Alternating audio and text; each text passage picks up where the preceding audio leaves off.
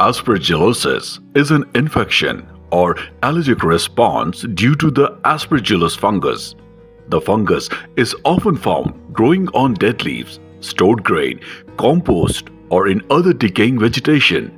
There are several forms of aspergillosis allergic pulmonary aspergillosis, aspergilloma, invasive pulmonary aspergillosis.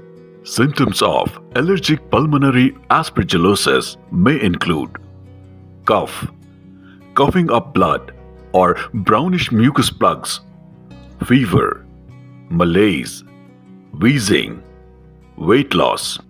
Other symptoms depend on the part of the body affected and may include bone pain, chest pain, chills, decreased urine output, headache, shortness of breath, skin sores, vision problems.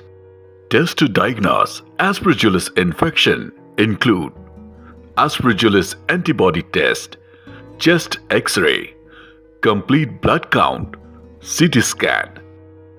Treatment A fungus ball is usually not treated with antifungal medicines unless there is bleeding into the lung tissue. In such a case, surgery and medicines are needed. Invasive aspergillosis is treated with an antifungal medicine.